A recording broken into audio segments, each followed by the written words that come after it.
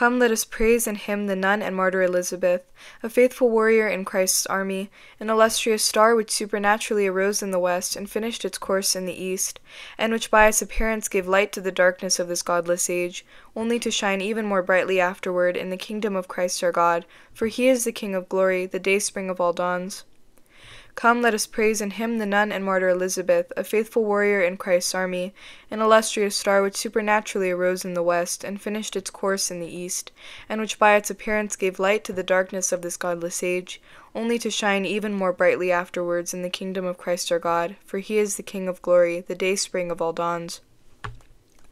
Tell us, O Elizabeth, what mysteries thou dost now behold, the things which thou didst desire to see from thy youth, and for whose sake thou didst forsake the imaginary pleasures of this passing life, and didst account as nothing the malice of thy tormentors.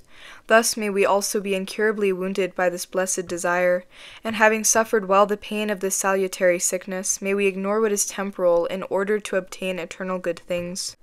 O witnesses of the Lord, ye holy martyrs, clear mirrors of the divine glory, if the night of godlessness had not been illumined by the light of your struggles, how would we have seen the path to salvation? And if the Russian land had not been made up fertile by your blood, how would it have been kept from drying up and becoming like a barren desert? Pray to the Lord now that he may visit this vineyard, and in his mercy may not abandon his inheritance, that he may strengthen us in temptations yet to come and in sorrowful times, so as to vouchsafe even us sinners to take up the struggles as best we are able, that by this little labor we may bear witness to the greatness of his glory. Glory to the Father, and to the Son, and to the Holy Spirit. The Lord's judgment hath come upon the Russian land. Love hath become scarce, and mercy hath waned. Spare our suffering fatherland, O Lord, through the prayers of Saint Elizabeth and of all the new martyrs, and for the sake of their precious sufferings. Grant the Russian people at least a little more time for repentance, as once with the Ninevites. And preserve, O Lord, thy little flock, the holy church, that according to thy promise the gates of hell may not prevail against it. And may we sing the praises of thy wonderful saints, by whose blood the Russian land hath been hallowed and the church hath been strengthened. While resplendent in royal glory on earth, thou didst have the kingdom of God within thyself, O Grand Duchess Elizabeth.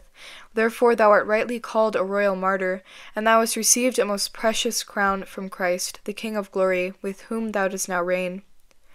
The kingdom of heaven is near, for the Lord doth reign in his saints.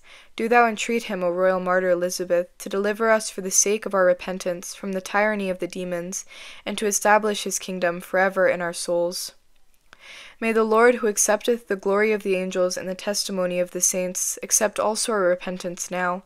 May he turn away his righteous wrath from our fatherland, through the prayers of the royal martyr Elizabeth, and may he be merciful to those who glorify her.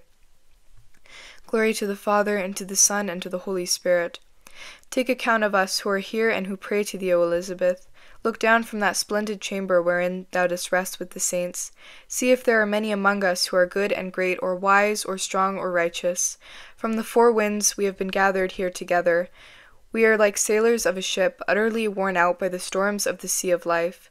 Our helms have been broken by the tempests of the passions. Our sails are torn to pieces by violent adverse winds.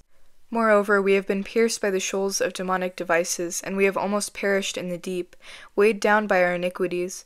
Though we are useless, we have been spared by thy prayers, as we bring to the Lord our heartfelt repentance. We beseech thee, our teacher, guide us to the right course, whereby we may reach the calm and most desired harbor, which is the kingdom of God concealing the rank of a princess with humility, O divinely wise Elizabeth, thou didst honor Christ with the twofold service of Martha and Mary. Having purified thyself by charitable works, patience, and love, thou wast brought to God as an offering of righteousness. As we venerate thy virtuous way of life and thy sufferings, we earnestly ask thee, as our true teacher, O holy martyr and Grand Duchess Elizabeth, entreat Christ our God to save and enlighten our souls. Through the prayers of our holy fathers, O Lord Jesus Christ, our God, have mercy upon us and save us. Amen.